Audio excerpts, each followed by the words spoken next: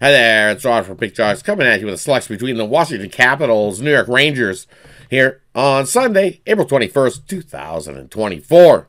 Just before we get that selection, I want to say, hey, if you're new to Pick Dawgz, welcome aboard. Glad to have you. Like, subscribe, turn on that notification bell. That way you get notified when the newest content drops here at Pick Dawgz. Also, looking for the bets that I'm making today? Head on over to pickdawgz.com, hit that premium picks tab, click on the hottest handicapper button, hit the leaderboards button, see who's hot over at Pick Dawgz. Also, there's a quick link. It's in the description. That'll get you right on over to my cappers page. You can find the bets that I'm making today, the ones that I love the most to uh, crush the books. All right, let's get into this uh, Series 1 game action here between these uh, two teams. And you look at the Washington Capitals taking on the Rangers. And this Capitals team definitely uh, limped into the playoffs. I think it's the first time we've ever heard of a, a NHL playoff team uh, with a minus 34 um, goal differential.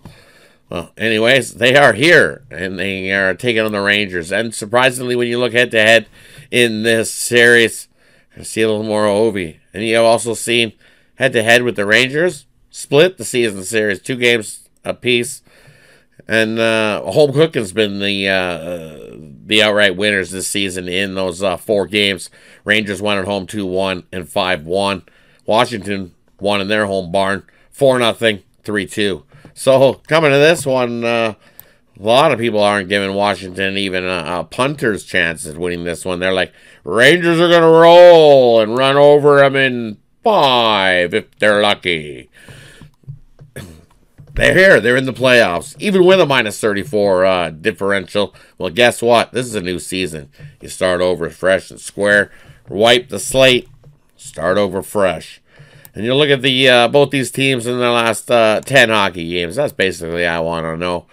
I'm sure the Rangers might have limped down a little bit uh, in the in the stretch, taking their foot off the gas, so to say. But you look in their last 10, their offense still pumping it out 3.4 goals a game, while Washington's defense is holding teams to uh, 2.7 goals a game. And you look on the other side, Washington's uh, offense only scoring 2.83 goals a game, while uh, Washington or the Rangers defense is at 2.76 goals a game. So defensively, pretty even numbers there over the last 10 games between these two teams, and that's what I expect with uh, Charlie Lindgren going to get the start here in Game One. Charlie Lindgren uh, definitely stepped up for these uh, Capitals and has become a viable number one and earned his spot with just right. And if you uh, look at the Rangers, uh, Shesterkin, Shesterkin's definitely stepped it up down the stretch, but he's had some shaky times this season as well. Thank goodness for the uh, Panarins in front of this Rangers uh, net that have definitely been uh, lighting the lamp and scoring goals offensively. Um, and that's probably going to be the difference in the series in the long stretch. But with Lindgren in, this Rangers team over the last five games holding teams to 1.4 with a 939 save percentage have been the goalies. So this Washington team, don't count them out. They're not going to be uh, put down in uh, five. I think there's going to be uh, at least six games in this series as Washington wins at least a couple games and keeps this close. But eventually, series-wise, long stretch, Rangers going to win this series. And in this one, I think the Rangers open it up at home in MSG of a ruckus hometown crowd that's going to be uh, loud and noisy. Tough place for uh, Washington to uh, steal a game one win. I'm going to expect to see like we see a 5 1 win or we see 2 1 win. But I think the uh, Rangers, if, it, if it's closer to 2 1, I think it's 3 1, 4 1. Either way, Rangers on the puck line in game one of this series.